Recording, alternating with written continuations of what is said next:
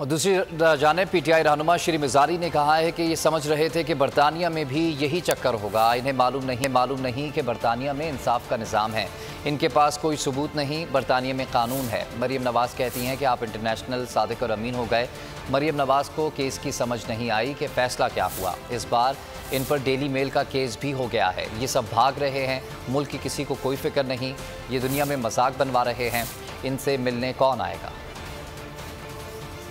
आधा रास्ता कायरो से वापस आ रहे थे पाकिस्तान, कतर में उतर गए, जहाज़ और अमला बाकी भेज दिया और ख़ुद लंदन की तरफ़ चले गए। देखिए, बरतानिया में ये समझ रहे थे, वही चक्कर चलेगा कि मैं प्राइम मिनिस्टर हूँ, मुझे टाइम और दो।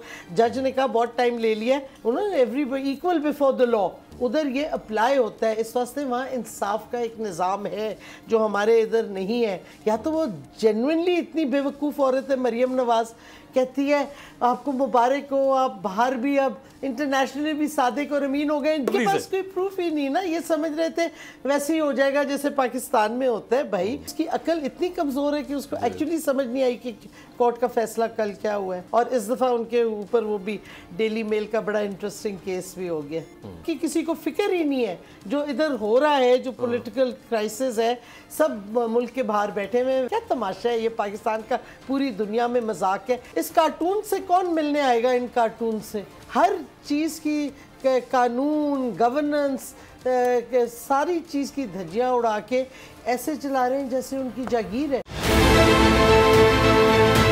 बहुत अच्छी कवरेज की है। ये मार्च की तो ज़बरदस्त कवरेज थी। बॉल की प्रॉब्लम सबसे बेस्ट थी।